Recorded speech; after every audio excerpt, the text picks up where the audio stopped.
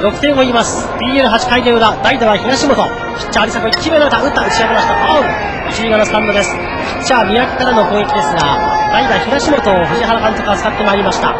東本は打席に入るのは今大会初めて。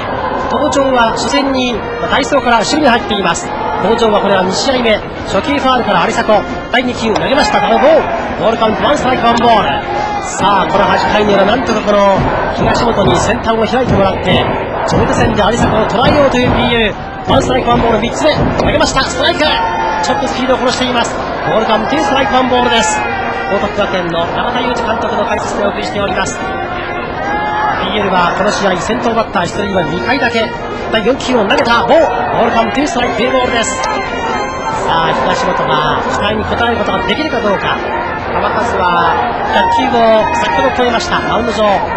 有迫です2ストライク2ボール5球目投げた打ちましたピッチャーのバックント打った一塁向いたボールを送ったアウト先頭バッター東本ピッチャーゴロワンアウトランナーありませんまあ、なかなか代打で長瀬さん難しいとは思うんですけどね。難しいですね。えー、まあ、非常に好投手ですからね。えー、ワンアウトランナーなしで、これから4巡目ということになります。今日はツーベースの放っている岡本に1球を投げた。バントしました、三塁前。さあ、前進。さあ、取った。一塁送球。センタースライディング。本に無情のアウトのコール。ツーアウト。よく守りました、笹田。2番まあ、ツーベースを打っている岡本なんですが、今、バントヒットを行いました。なかなか、この際どいタイミングまでは行ったんですけどね。守られました、ツーアウトランナーなし。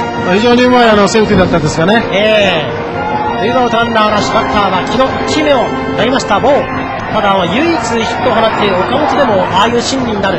やはり長瀬さん、有迫投手難しいっていうイメージが、いくばってあるんでしょうか。ありますね。ええ。ー唯一ヒットを放っている岡本バントヒットになりましたがアウト。2球目ストライク。ボールカウントワンエンドワンです。懸案のフォアボールもここまで3つという有坂であります。わずかにヒット1本。第3球を投げました。ボーボールカウントワンツー。まあ、非常にこのヒットを打たれないピッチャーといいますか3試合29イニングでヒット10本でこの準決勝を臨んでいますボールカウントワンストライク2ボール昨日に4球目を投げましたダメボーボールカウントワンストライク3ボールですスタミナ的にも中1日ですが、おととい156球、長さん、あんまり影響ないようでしょうかね。いやいや、あると思いますけどね。あ5球目を投げました。ストライク、ツースリーポイントあると思うんですが、なかなかこの 疲れた感じになりませんよね。いや今日本当にあの、はい、疲れちゃうと思うんですがね、見えませんね、それがね。ボールが生きてますよね。はい。